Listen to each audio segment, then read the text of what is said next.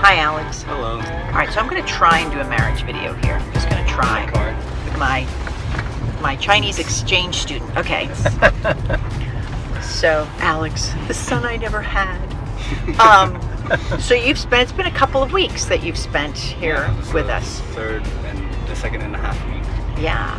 So, what do you what do you think of our marriage? Like, what have you? What do you? What, No pressure. We're both sitting here. what kind of observations as a as a young teenager? What observations have you had? I think like being playful is definitely a great factor Mm-hmm.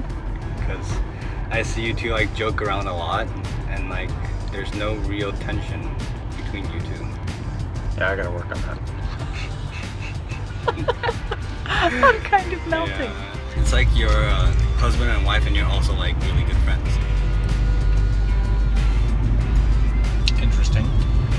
Hey! Yeah. You You'd also treat your best friend like pretty nicely, right? Like how you would treat someone else. That's Yeah, Wow. yeah that's what I've seen. Wow. Yeah. That's very astute of you and all of your He is a. youth. If you're Alright. smart. If you schmott. Yeah. Well, thank you for that. You're welcome. Now, go to your room! What room?